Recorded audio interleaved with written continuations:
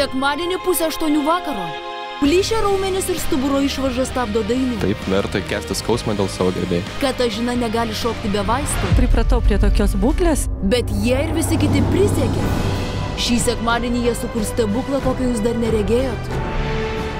Tiesiogiai per Alanką. Šokiai be taisyklių.